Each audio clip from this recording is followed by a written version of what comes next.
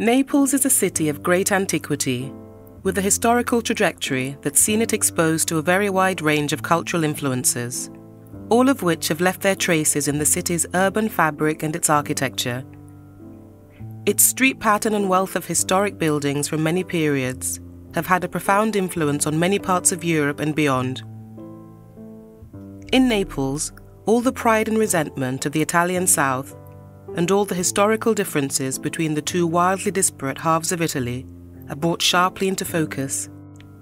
This is the true heart of the Mezzogiorno, a lawless, petulant city that has its own way of doing things.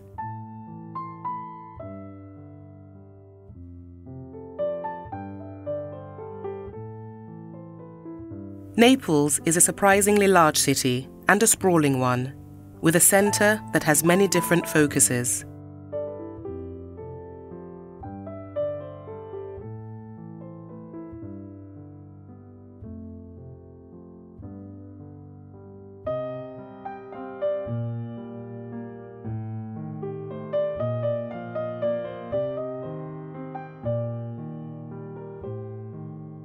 Between the Sorrentine Peninsula and the Campi Flegrei, Naples gazes out onto the open gulf of the Tyrrhenian Sea within a spectacular setting dominated by Vesuvius, the sea and the hillside, with one of the most beautiful and captivating townscapes in the whole of Europe.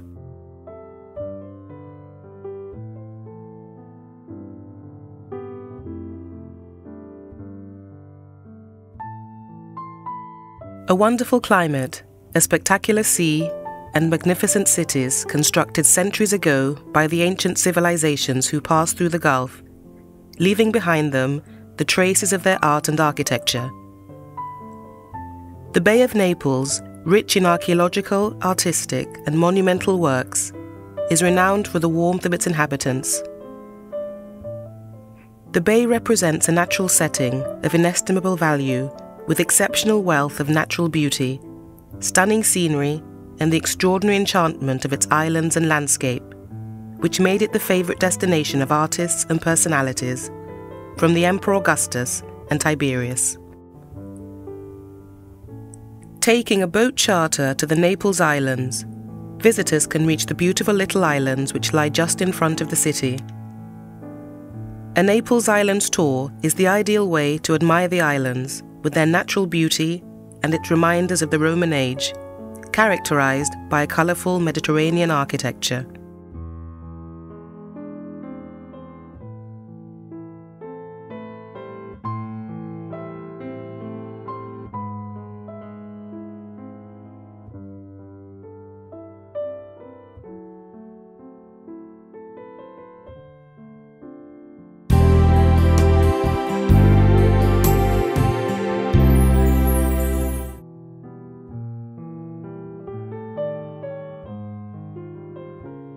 Vibrant, passionate, unique. Words which perfectly describe the bay lying in the shadow of Vesuvius. A land which is home to ancient traditions and archaeological and artistic treasures. Castel dell'Ovo, or Egg Castle, rises upon the islet of Megaride in front of the small promontory of Monte Eccia, which divides the two small bays on the waterfront of Naples the harbour bay, and the Riviera di Chiaia. Framed by the Borgo Marinaro and the Porticciolo di Santa Lucia, it's one of the city's most famous symbols. The Castel dell'Ovo is one of the most substantial survivals from the Norman periods, built as a fortress monastery on the site of the villa of Lucullus.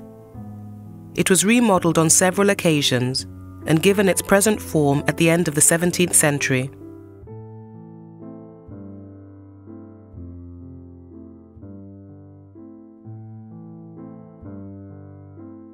In this magical place, full of stories and legends, it's said that the destiny of the city lies. According to one of the most fanciful Neapolitan legends, the name of this castle derives from the egg that the Latin poet Virgil apparently hid in a cage placed in the dungeons of the castle. The egg was locked up and kept hidden because the fortune of the sea castle depended on that egg. Since then, the destiny of the castle has been in parallel with the fate of the egg. Less mythologically, this is where the Greeks from Cuma to the north first settled the Bay of Naples in the 5th century BC. Centuries later, the island became the home of the last Roman emperor, exiled here after the empire was overrun by the Goths. Local residents destroyed all of the Roman structures that at one time dominated the island in the 9th century to keep them from being used by Arab invaders. The Normans erected the first permutation of a castle in the 12th century. The prominence of Castel dell'Ovo faded to a degree when the royal residency of Charles I of Anjou constructed a new castle, Castel Nuovo, and moved his court there. It served as a defence castle throughout the Middle Ages and was significantly increased in size in both the 16th and 18th centuries. Impressively, the formidable Egg Castle remained a place of royal residency until the 20th century. If stones could talk, those used to construct Naples castles would speak volumes. Every ancient building has a fascinating story to tell, even more so when they're castles, historic residences of royals and emperors, and more often than not, key players in war and conspiracy.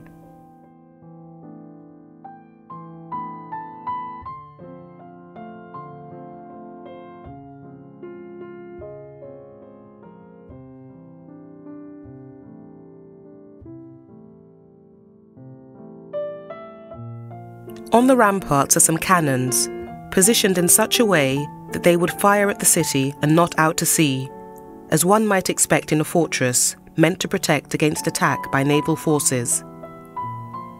It turns out that the ones visitors see today were put there for ornamentation, having been recovered from the bottom of the Bay of Naples when a ship went to a watery grave centuries ago. Yet tales of guns from the castle taking pot shots at the city aren't entirely false. Around the year 1500, when the French and Spanish were belligerently disputing the future of Naples, the Spanish parked their artillery on the height of Mount Eccia, the cliff directly across from the small island of Megaride, where the egg castle is situated, and shelled the Angevin French in the castle, who of course returned fire.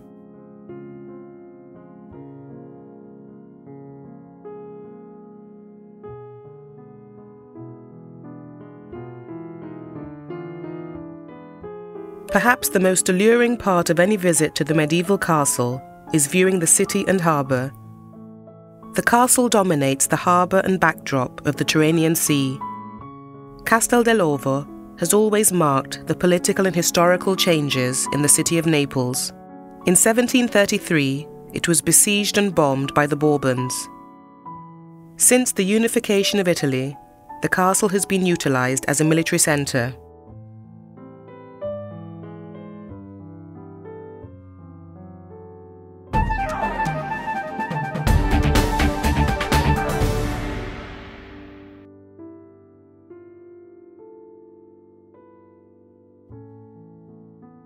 Porta Capuana is one of the city's main gates and one of the main Renaissance monuments in Naples. It dates back to the late 15th century on the design of Giuliano de Maiano. The impressive triumphal arch emerges from two mighty cylindrical towers, usually referred to as Honor and Virtue.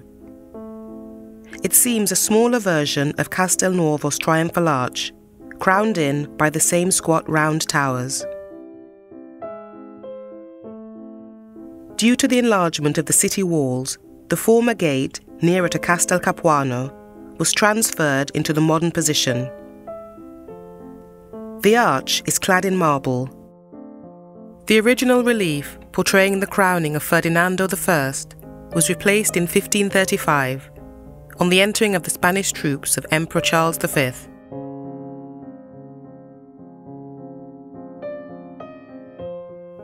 Passing through the gate you reach the main street that traverses the old historic centre of the city of Naples, the Spacca Napoli.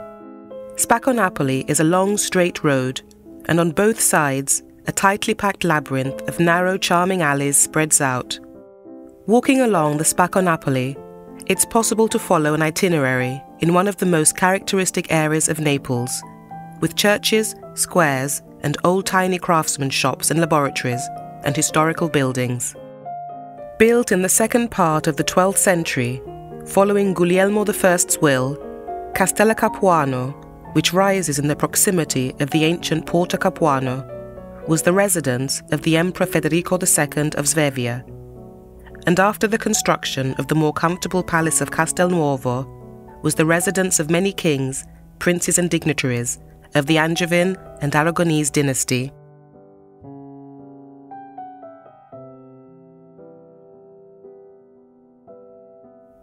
In Spacca Napoli Street, the simply vast Duomo di San Gennaro is the city's cathedral and is without doubt one of the most stunning buildings in the whole of Naples. Dedicated to Our Lady of the Assumption, but more commonly to San Gennaro, the cathedral was built by Charles II of Anjou towards the end of the 13th century, on the ground where the church of San Stefania used to stand near the Basilica di Santa Restituta. It preserves three portals of the original construction. On the middle one, rich in sculptures, a Madonna col Bambino by Tino da Camaiano and the column bearing lions of Nicola Pisano School. The facade was restored with its current pseudo Gothic shapes by E. Alvino and later modified by Pisanti. An interesting fact about the Cathedral of Naples is that twice a year, a vial of blood that's said to be from the patron saint himself is brought out for public viewing. It liquefies, and legend says that if it were ever not to liquefy, something unsavory would happen to Naples. This is just a part of the folklore that's connected with the Naples Duomo.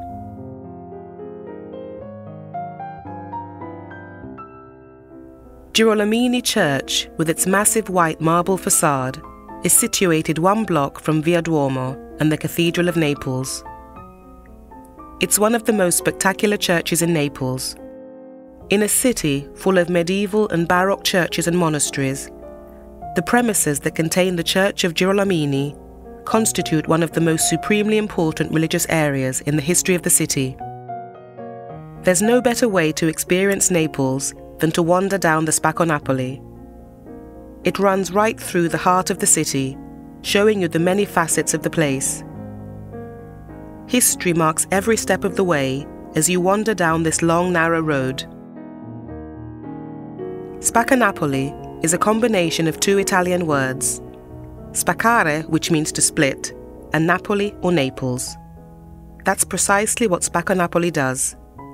It separates Naples into two as it runs from east to west, beginning from about halfway up the side of the Vomero Hill at a point directly below the Sant Elmo Castle and the San Martino Monastery.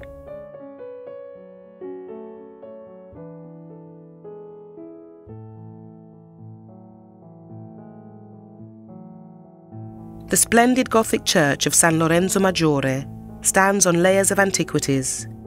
It's located at the precise geographic centre of the historic centre of the ancient Greco Roman city.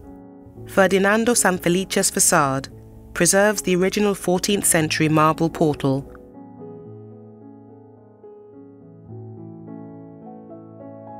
Near San Lorenzo Maggiore, on top of a large stairway with two ramps, is the Basilica of San Paolo Maggiore. Built in the 8th century on the ruins of the temple dedicated to the Dioscurs, Castor and Pollux, it's situated in the heart of central Naples, in the foro of the ancient Neapolis. On each facade, it has two niches with the statues of the saints Pietro and Paolo, and two Corinthian columns of the former temple of the Dioscurs, with traces of architraves. The statue of San Lorenzo stands near the facade of the church.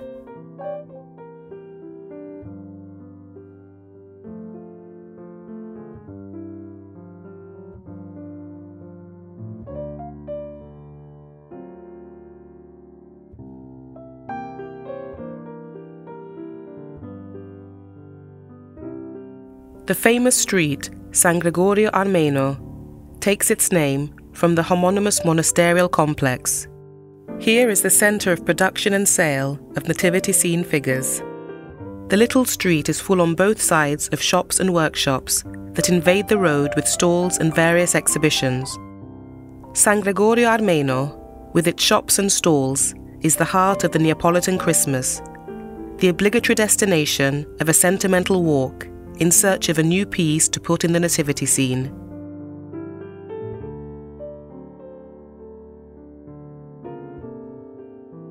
The street is where Naples happens. Life is lived here in all its chaotic glory. It's bustling, it's unique, where Neapolitan is a language in its own right, and visitors will hear the harsh dialect bellowed at high volume. It's full of historical, artistic, and cultural traditions. Today, Naples is a bustling city, located in a beautiful natural setting, with a colourful street life, chaotic traffic, and numerous narrow and winding alleyways that lead to many quaint shops and restaurants.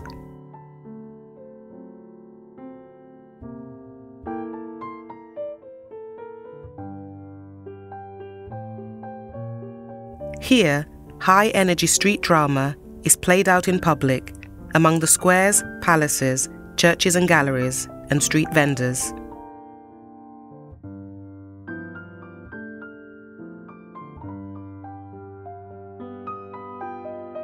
One of the most beautiful works by the Aragonese in Naples is Piazza San Domenico Maggiore, which was opened by Alfonso I and is dominated by the homonymous church and by the Guglia or spire. The spire of San Domenico is located in the square. The name refers to San Domenico di Guzman, founder of the Dominican order. The spire was started after the plague of 1656 and was designed by Cosimo Fanzago.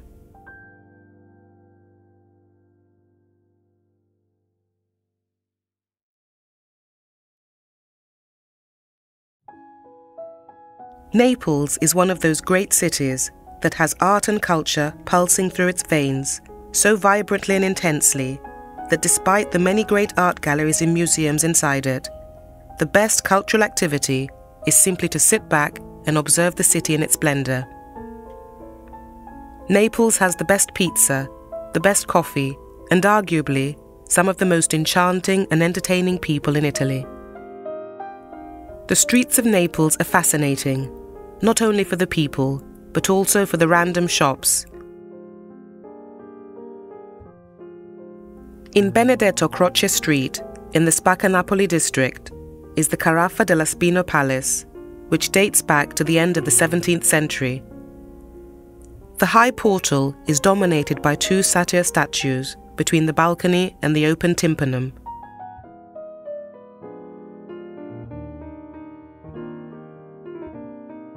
The spires of Naples are three monument columns in the historic centre of the city.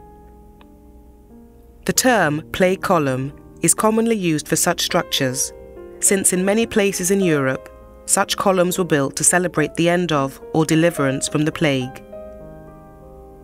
They were common in the Catholic countries of Europe, especially in the 17th and 18th centuries, when their ornateness became one of the most visible features of Baroque architecture.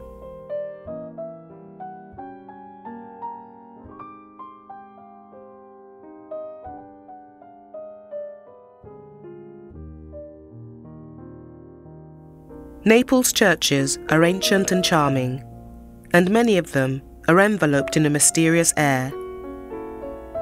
Churches with a great historical and cultural importance, Gothic or Baroque, more or less majestic, with serious or joyful facades, the visitor can find them everywhere.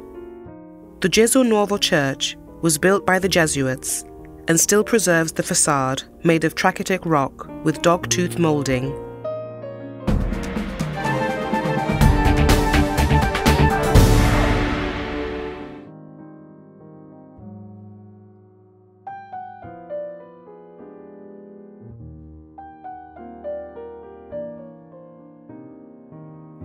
dedicated to the Bourbon King Charles VII, Dante Square was known as Foro Carolino until Italian unification in 1860.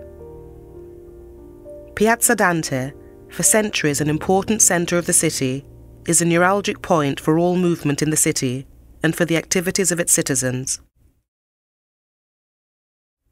This square, named after one of the greatest names in world literature, is dominated by a 19th century statue of the poet, sculpted by Tito Angelini.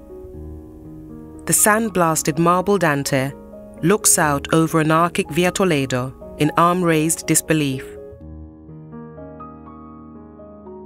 Long ago, the square was called Largo del Mercatello, simply Market Square, and then in 1765 was rechristened Foro Carolina, after the wife of the King of Naples.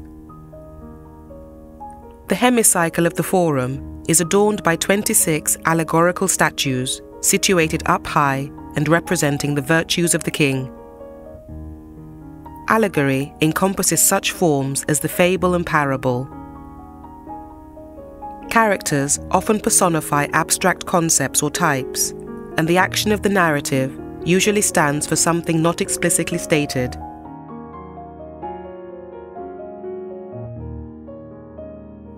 There are many squares in Naples, and each one tells a personal story.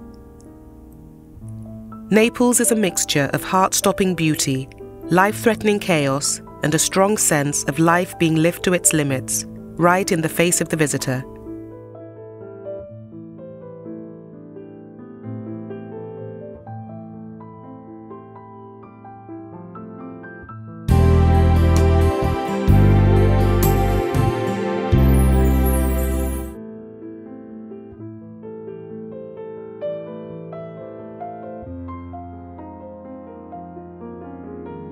Certosa di San Martino is one of the most well-known and visible structures in the city. The magnificent charter house, built in 1325 by Charles II of Naples, on the hill overlooking Naples, has gone through a series of complex architectonic and decorative changes. The original Gothic structure has been modified through various Renaissance, Baroque, and Rococo works. For centuries, it served as a Carthusian monastery, inaugurated in 1368 and dedicated to St. Martin of Tours.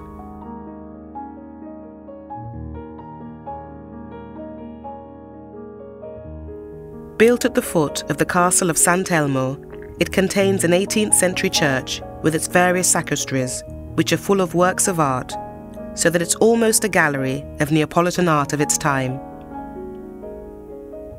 The National Museum of San Martino is Naples' most varied and surprising museum. The Great Heritage Collected shows the various aspects of Naples' history and culture, with its rich artistic beauty, curiosity, and various elements of style.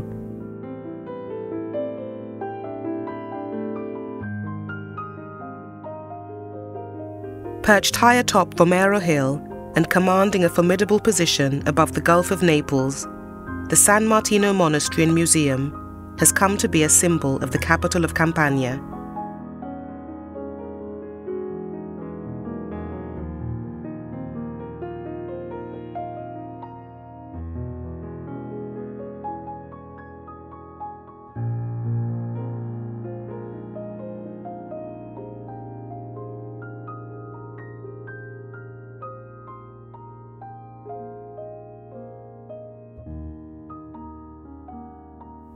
Known as the Maschio Angioino, the Angevin fort, Castelnuovo was built for Charles of Anjou towards the end of the 13th century on the instructions of the Anjou family.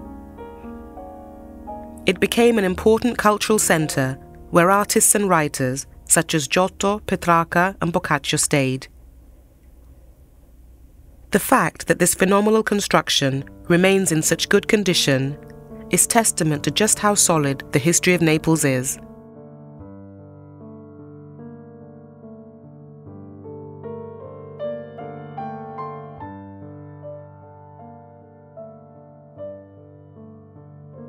The Maschio Angioino was significantly embellished and enlarged in the 15th century by Alfonso I d'Aragona, the first ruler of the Aragonese dynasty. Around this time, the spectacular triumphal arch of Alfonso I of Aragon was erected in between two of the castle's towers. The arch forms a clear chromatic contrast between its own whiteness and the darker Piperno, a particular kind of trachyte often used in Naples for building. Above the attic is a second arch, which opens between coupled ionic columns. These support a second attic, decorated with niches containing the statue of temperance, strength, justice, and magnanimity. Dominating this remarkable achievement is a semicircular tympanum bearing the allegorical representation of two rivers, and above this stands the statue of Archangel Michael.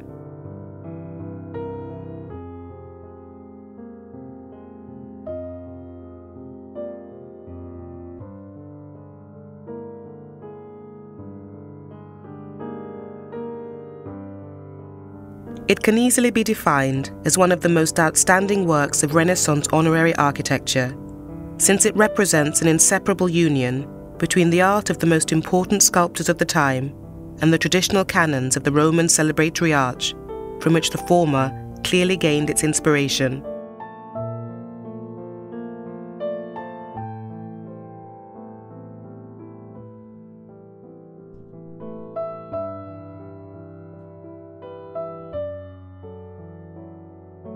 In 1266, Charles I became the ruler of the Kingdom of Naples, whose capital was in Palermo at that time. When it was decided that the capital of the Kingdom of Naples would be moved to Naples itself, Charles ordered that a castle be built by the sea. The Castel dell'Ovo and Castel Capuano weren't sufficient in size or grandeur for the sovereigns of the time, and so the Castel Nuovo was built.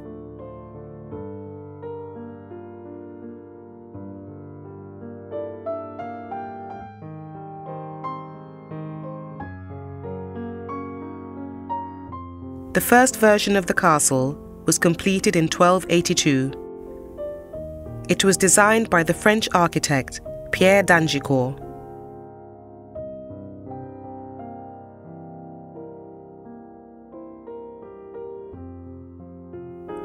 The time of the Aragonese saw the passage from the medieval castle palace to the fortress as it now appears. It was adapted to the new needs of a time of war and the area surrounding the castle lost the residential character it had had under the Angevins. The structure of the Aragonese building is undoubtedly more massive than its Angevin predecessor and was quite similar to the present day castle, which is the result of the clearance works of the early years of the 20th century.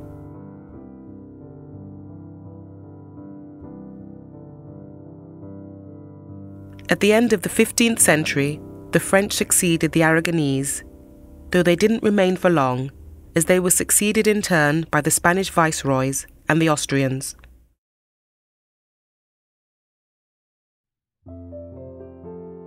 During the viceroy period, the defence structures of the castle, needed for purely military purposes, underwent further modification.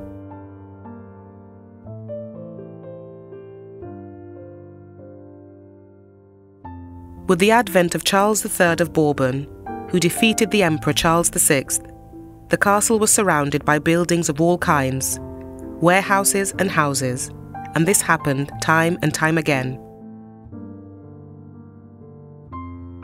In the first two decades of the 20th century, the municipal council began the work of isolating the castle from the annexed buildings in recognition of the historical and monumental importance of the fortress and the need to reclaim the piazza in front of it. The castle is today the venue of cultural events and also houses the Municipal Museum.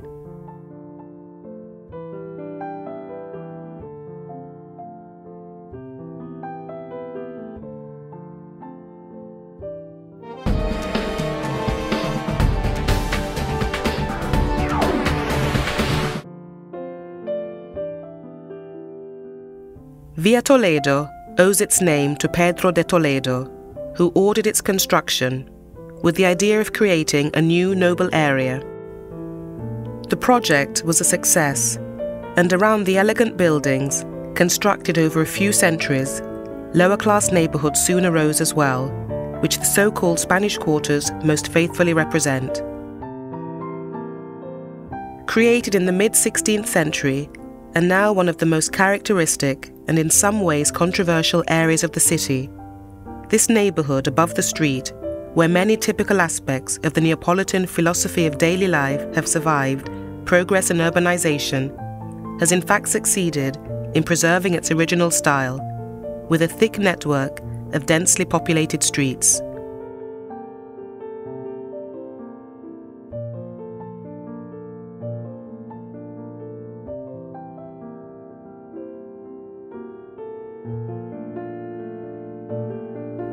Designed by Giovanni Antonio Medrano on behalf of King Charles of Bourbon, San Carlo Theatre was the first theatre to be built in Italy. When it was finished, this was the biggest opera house anywhere, with the capacity to seat 3,300 people. In order to produce a theatre of the calibre and prestige that Charles III wished to have, he commissioned two of the best architects of the time, Giovanni Antonio Medrano and Angelo Carasale. They designed a building that's both amazingly beautiful but also has near perfect acoustics. Opposite San Carlo Theatre is the grandest interior in southern Italy, the Galleria Umberto I. The most prominent example of the architectural aesthetics stemming from the Industrial Revolution Galleria Umberto was inaugurated in 1890 and named after Umberto I, King of Italy, when he was murdered. The gallery has a spectacular collage of Renaissance and Baroque ornamentation, tapering off to clean smoothness of marble at the ground concourse. The architecture joins a new Renaissance facade with the beautiful glass and iron roofing inside Italian historical construction heritage is essentially constituted by masonry structures, iron structures, or by their combination. Among the most widespread applications, the large metallic roofing systems, which between the 19th and 20th centuries were frequently used to cover urban galleries, represent an interesting example of the Belle Epoque architectural style in Italy.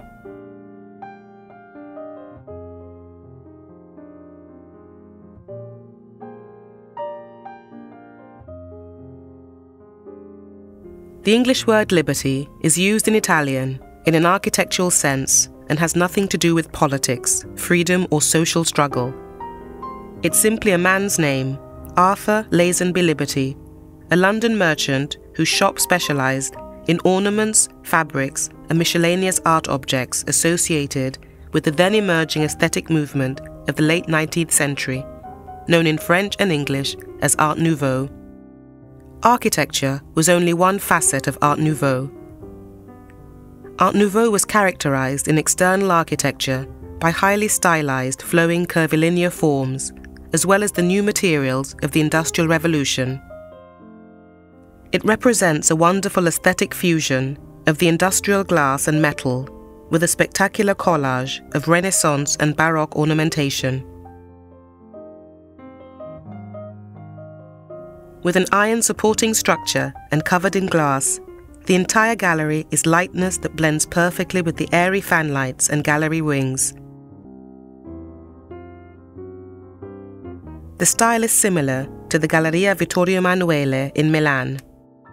The gallery was built to stimulate commerce and to be a symbol of a city reborn.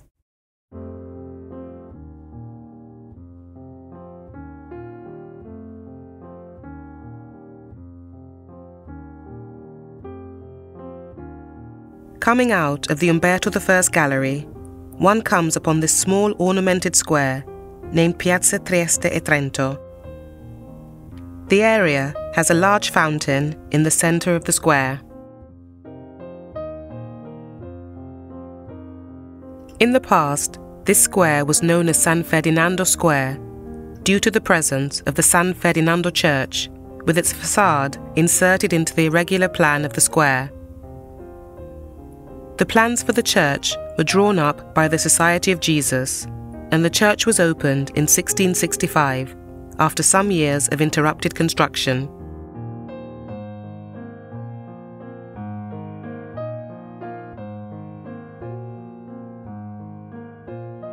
Arriving from Piazza Trieste e Trento, visitors will find themselves facing one of the most beautiful and monumental squares in Naples.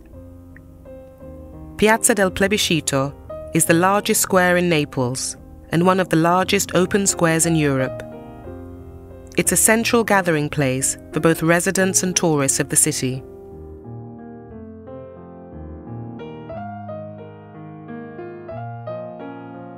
The Church of San Francesco di Paola often draws comparisons with the Pantheon in Rome.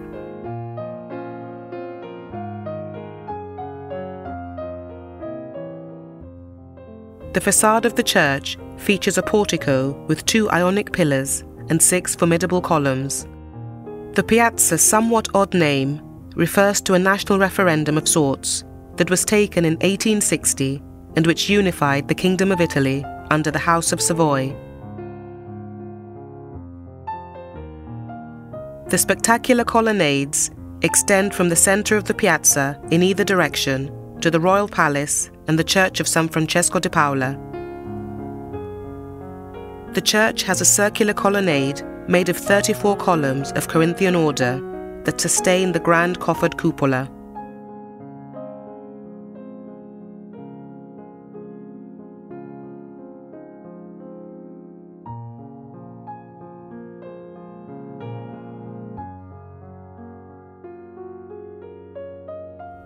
Isolated in the square, facing the basilica, stand the statues of Charles III, the founding father of the Bourbon dynasty in Naples, and Ferdinand I of the Kingdom of the Two Sicilies. The monarch is garbed in classical Roman fashion. Ferdinand also commissioned the statue to himself at the same time. He is, like his father, mounted and dressed in classical fashion.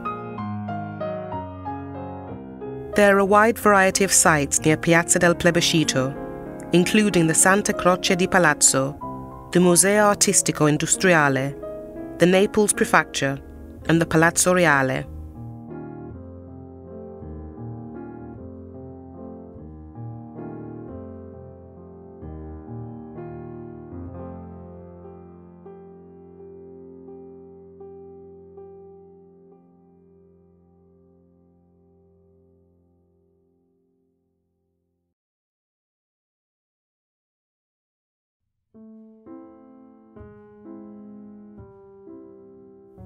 There are two major landmarks that flank the largest square in Naples. One of them is the Royal Palace, which lies to the east of the Piazza del Plebiscito. The designer was one of the most prominent architects of the day, Domenico Fontana. Perhaps the most distinguishing characteristic of the palace is the facade with its eight kings. This is a truly remarkable historical testament to the development of Naples, as these kings represent completely different regimes and dynastic ambitions.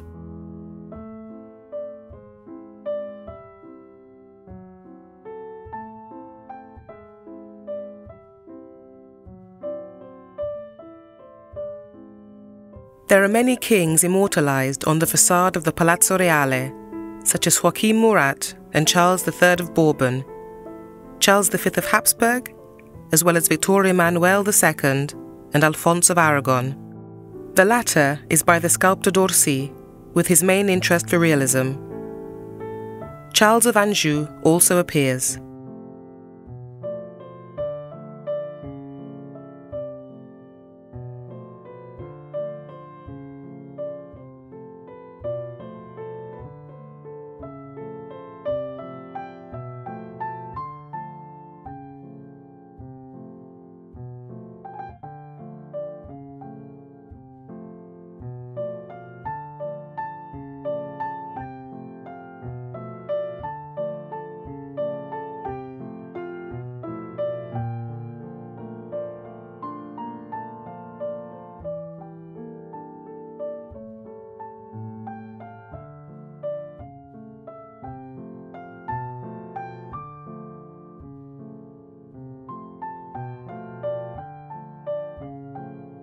Today, the Royal Palace has various diverse functions.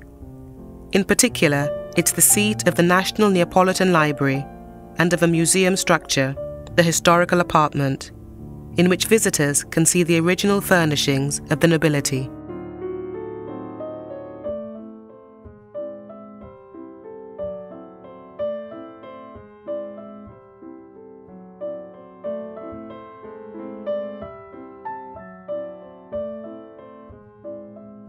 The exit from the piazza on the downhill side in Via Cesario Console leads to a small park with good views of the palace and of the marina and port, Vesuvius and the bay.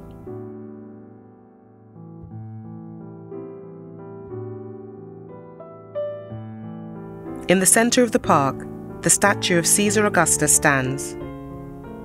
Augustus was clearly the greatest emperor in all of Roman history and the title Father of his Country was well deserved.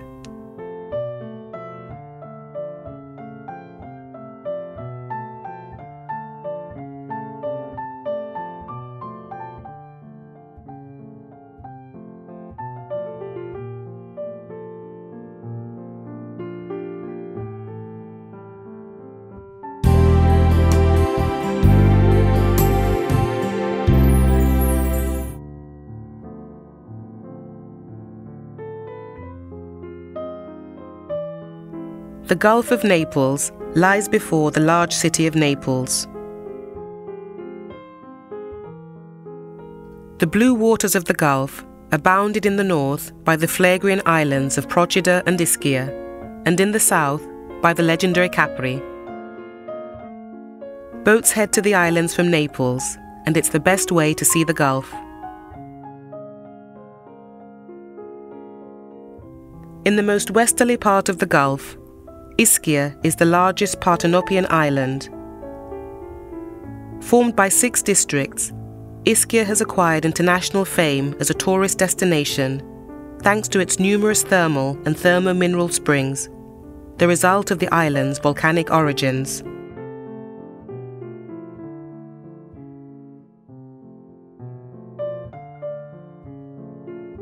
The town is divided into two distinct settlements, Ischia Ponte and Ischia Porto.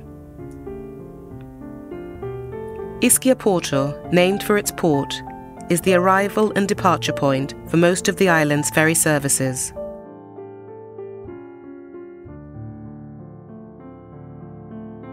It's the largest of the three islands off the coast of Naples and more than holds its own in this trinity of beauty, rising from the azure waters of the Tyrrhenian Sea this haven seems a million miles away from the haranguing, energy charged streets of Naples.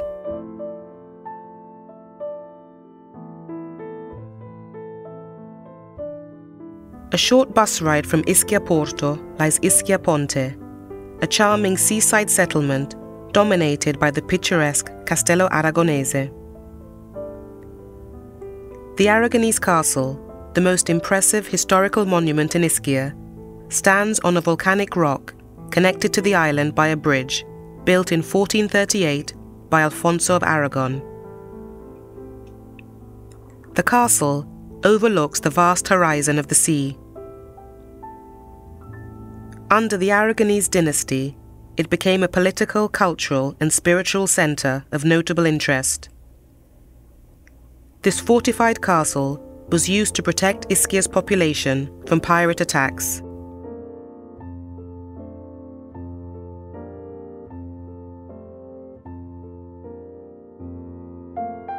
The island of Ischia sprawls languidly over a mountainous and flower draped terrain, which rolls down to delightful small towns and villages. Points of attraction are the characteristic port, the evocative haven of Sant'Angelo's long golden beaches, and the wooded hills and terraced vineyards. One of Ischia Island's particular architectural highlights are its traditional houses cut out of stone, known in Italian as Casa di Pietra. Most of these rock homes are built out of the island's green tuff stone, pieces of volcanic rock that surfaced after tectonic activity around the 2nd century AD.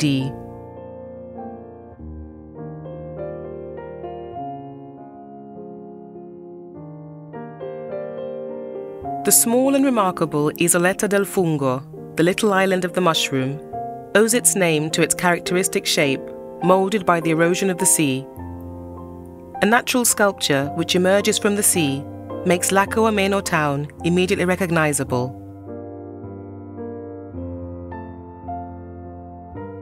This is a volcanic block of green tuff, almost a joke of nature, with the creative forces of wind and sea, which have given the extraordinary shape of a real mushroom.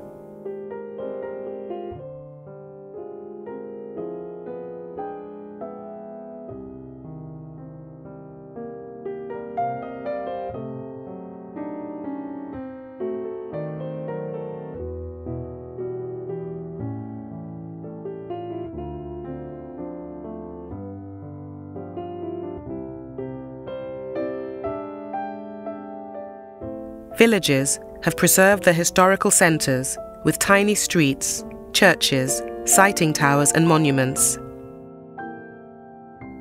Ischia's beaches are famous long white sandy beaches which lie between steep green hillsides and the deep blue sea of the Bay of Naples. Citara Beach is one of the most beautiful in the Mediterranean. It's permanently exposed to the sun, and its waters are among the most crystal clear of the island. There are about 37 kilometres of coastline, and although some of the shore is rocky, you're never very far from a beach.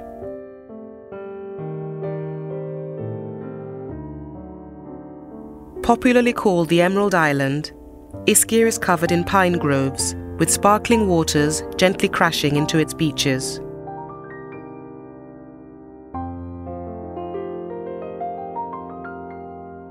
Forio stands on the west coast of Ischia. This region is a favourite with artists who come here to work in peace and quiet. The beach of San Francesco is located a few kilometres from the port of Forio.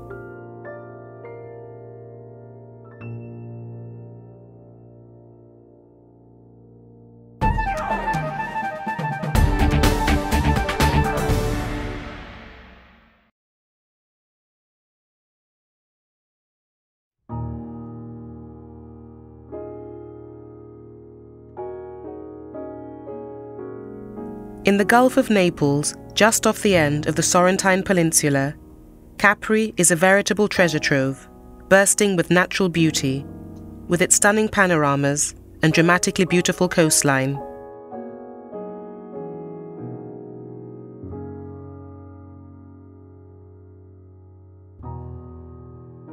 The island of Capri, having no natural port, was accessible only from a small beach the charming seaside port of Marina Grande, encompassed by two narrow arms or quays, borders the picturesque town of Capri. It lies to the north of the island and faces the Gulf of Naples. Houses along the port are still typical of the ancient dwellings of Capri's fishermen. The heart of Capri is Piazza Umberto I, a small, compact, closed off square.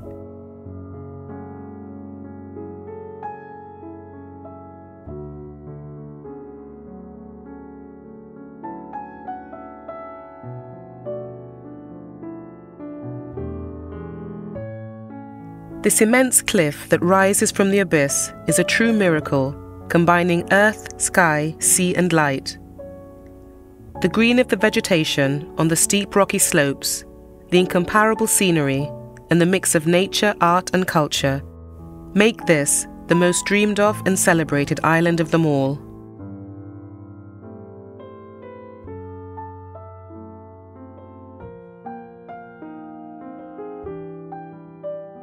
The Gardens of Augustus, crisscrossed by innumerable alleys and little stairways, is an oasis of green with a magnificent belvedere. From the gardens, one arrives at the Marina Piccola by way of Via Krupp, a tortuous street that descends to the sea. In 1900, the German magnate Krupp financed a street for travel by foot that joined the Quisisana where he lived to the Marina Piccola. Built with admirable skill, it's been called the world's most beautiful road, thanks to the manner in which it hugs the rock and the appropriate use of local construction materials. The craggy, flower covered island of Capri is home to a vast number of artistic, historical, and natural wonders.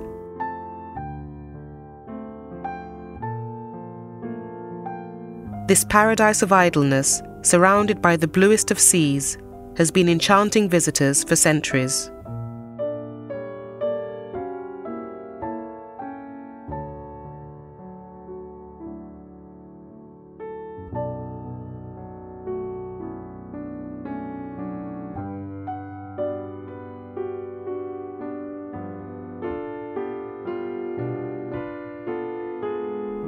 A tour around the island of Capri by boat is without doubt a unique and truly exhilarating experience. The spectacularly dramatic coast is characterized by numerous creeks, tiny bays, and caves. The Blue Grotto is one of the world famous emblems of the island of Capri.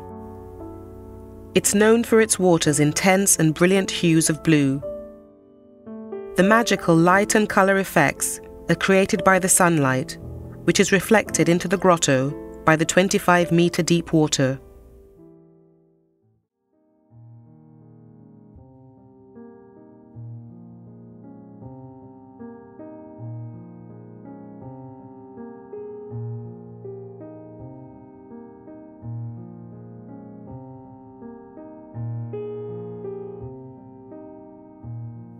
The Faraglioni are three rocks looming from the sea with a natural tunnel that runs right through.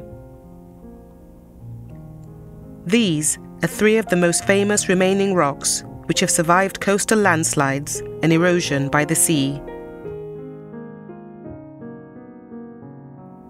These splendid geological formations, undoubtedly the best known feature of the island's jagged form, hold the numerous nests of Capri's large Diomede gulls.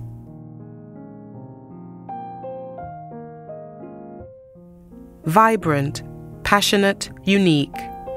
Words which perfectly describe the Bay of Naples and the densely populated city of Naples. It offers a series of unique and unforgettable town and seascapes